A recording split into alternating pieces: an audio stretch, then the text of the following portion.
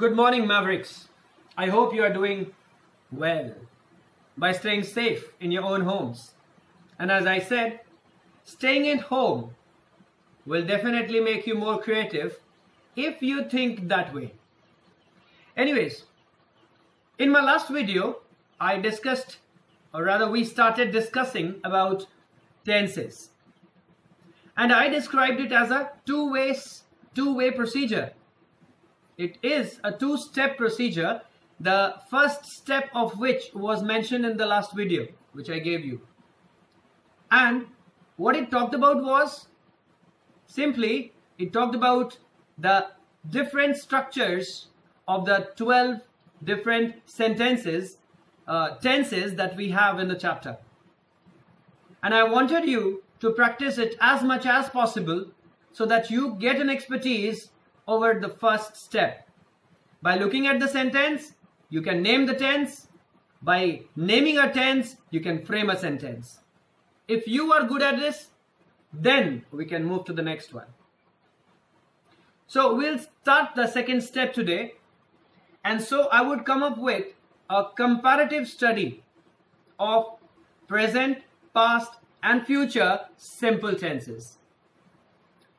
But if I start doing simple, if I uh, start teaching you simple present tense, I think there is one thing that is very important for you to acknowledge. What is that? Subject verb agreement. You must have studied it in your previous classes. And what is that? Well, you know what? I learned it in a different way. So I said there was a subject, there was a verb, and finally one day they had an agreement. Subject said, if I will be singular, you have to be singular. And if you come in plural, we will have a fight. It means the sentence would be wrong verb cannot uh, cannot even lag behind and uh, he would uh, he he came up with another deal. And he said okay fine enough.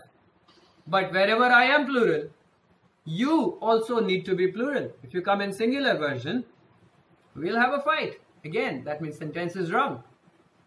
So they stuck to this agreement. And so we have this chapter subject verb agreement. So i have prepared a small detail of uh, subject verb agreement for you to identify. So as I described, let's see. Singular subject always takes singular verb and a plural subject always takes plural verb. So if you take an example of singular, singular and plural, plural. I say, you are listening he is playing. So what is this is? What is this are? It's the agreement. You falls into a plural category. He falls into a singular category. And so they come together accordingly. We take examples. First example. For singular subject and singular verb, the boy likes apples. The boy is singular. Likes is singular. And for plural, the boys, plural subject. So, like. No likes. Don't write the boys likes. That would be a blunder. Okay. When I was a child, I had this problem. And I believe many of you have it. Maybe you won't tell me so. Anyhow, the problem is how to remember which verb form is singular. So I devised it. I compared it with nouns. Nouns, let's say cat, singular. To make it plural, we add an S. We make it cats. But in verbs, it's just the opposite. So please remember, I have tried mentioning it here. With singular subjects, V5 comes in. V5 is the singular form of verb. And with plural verb, plural subjects, plural verb comes. V1 is the plural version. So you have to devise your own mnemonics in order to remember this. That's your brain. So this is subject verb agreement. It's not that's it. It has many rules, 15, 20 rules that you need to uh, capture in order to be an expert in subject verb agreement. And mind it, if you are an expert in subject verb agreement, 50% of the errors that people make would be omitted. So work on uh, this particular thing, get some grammar books, get into them, ask in case you get stuck somewhere. That's your part. All right, that was subject verb agreement. A little brief about it. I know, uh, I hope you would do more. But before we get into tenses, I would like you to go through this particular segment of the board. I hope it is quite clear to you. If it is not, I will put it like this. See? We'll do it like this. So what I've done is I've categorized singulars and plurals. You see, all the singular pronouns along with all singular nouns fall in this category and all the plural pronouns with the plural nouns fall in this category. Now, you see, I have listed certain things here, which is something very, very important for you to learn. And what is that? With singulars, we use does. With plurals, we use do. Singulars take is, plurals take are.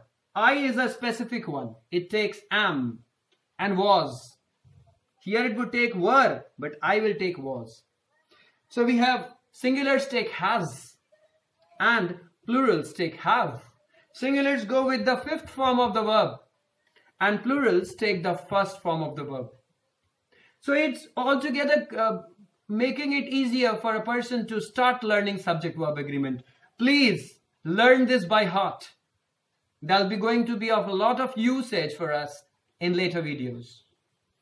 So after moving, after getting into this, I will get into the tense version.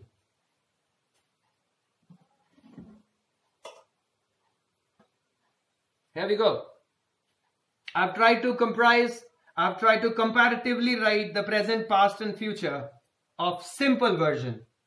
My next video will definitely uh, give you more information about the perfect, present, past and future perfect and then present, past and future continuous. So segment wise I will deliver the videos to you. Also I would not forget to prepare a video of subject verb agreement that would really help you as well, I know. Alright, so now let us move towards the tenses. We start with the simple present form, which is also called the present indefinite form of tense. And that is to be kept very, very, very simple. That's what the name is, simple. You should not be using any be form. You should not be using any have form or do form. Simply you have to capture the verb first form or the fifth form according to the subject and the verb. So I've tried to mention the usage of all the three tenses along with the structures and examples. Further more exercises you have to do on your own. So let's start without any, uh, any delay. Simple present tense. Now simple present tense talks about those actions which are repeated. Repeated. Uh, repeated, you shouldn't be confused about. Repeated, it may repeat once in a decade or maybe 1000 times in a minute. Anything.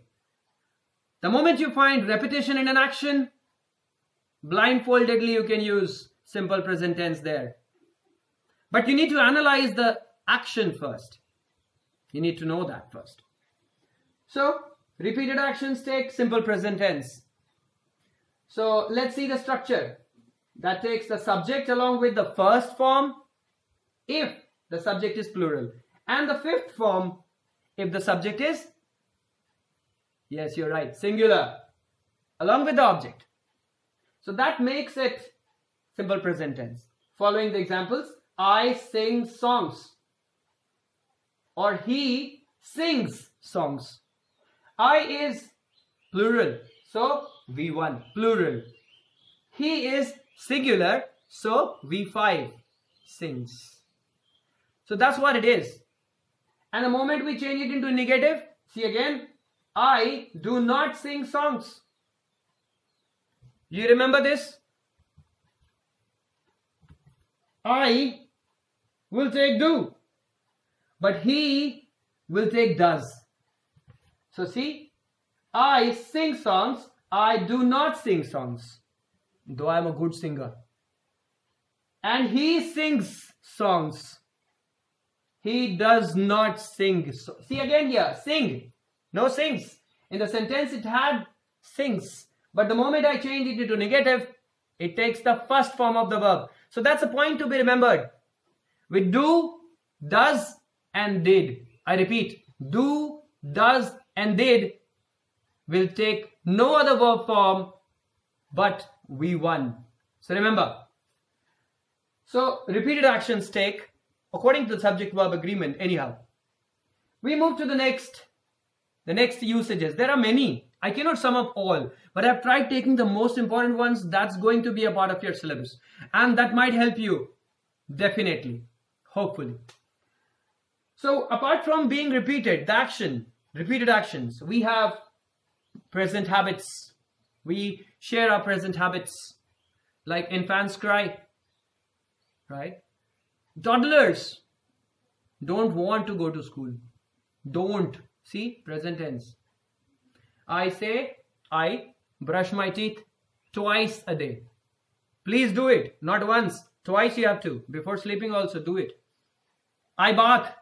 I will, uh, my son also baths. So see, simple present tense for those actions which are habits. Or maybe for science facts also. Water boils, as I say. Or water cools when freezed water boils when heated. So, singular subject, singular verb. Universal truth, the earth rotates. Well, I hope you know. It rotates on its imaginary axis. Alright.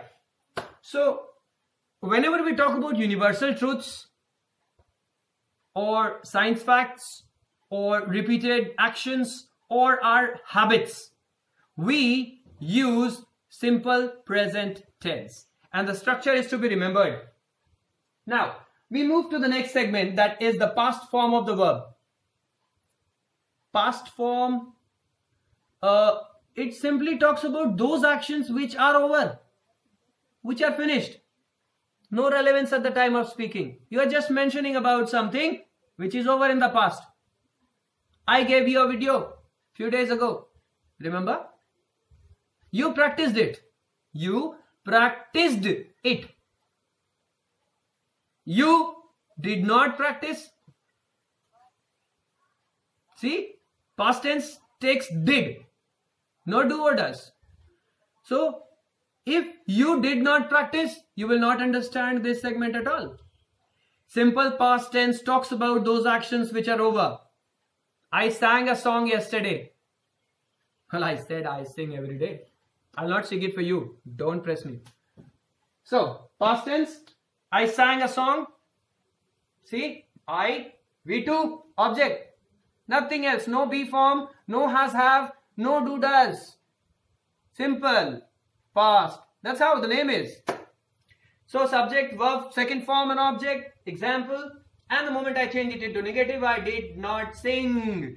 This is the version you need to remember. You cannot write anything else. Why? Why so? Why so? Uh, I don't have space here, but uh, let's remember this. Did always takes V1. And here also, do V1 or does V1. Always. The moment you take another verb, you're wrong. So remember, that's simple past. Let's move to the next. Future. Future is good, don't worry. Coronavirus is there, but we are safe. Our future is bright. Okay. So, future is something it's it's it's used for those actions which will happen in the future. School will open after few months, few weeks, a few days, Okay, few weeks. Fine, I take your answer. Some people say few months, and many might be thinking many years, some years. Okay, anyways. So, this is what it is. The example would be I will sing a song. Baad mein, not now. And the structure is subject, will, it may have one more. Will and shall, both are used. She, subject, will, V1, object. So I will sing a song tomorrow. And the negative will be simply, I will not sing a song. You can shorten this will not by using won't. That's how will not is written in a negative form. So I will not sing a song. I won't sing a song tomorrow. Simple future tense. Right. So it's not always simple future tense comes with will all. It may take another form. We will definitely go through everything in my next videos. I'll try to give as much information I can put through you with the help of this. Again, the last structure here, we have done it in a bigger version. But I want you to see it as many times because seeing makes you learn it. And this is something without which we cannot meet. Well, obviously, we cannot go together. So, this is what all about present, past and future. Simple tenses. And they are simple. Don't take tension. Go through them, practice more exercises, and you are going to be a master on this with practice. Well, practice makes everyone perfect. So it's now now it's time for me to sing a song. Alright, do like, share and subscribe to my videos if you like it. I will come back to you soon. Thank you.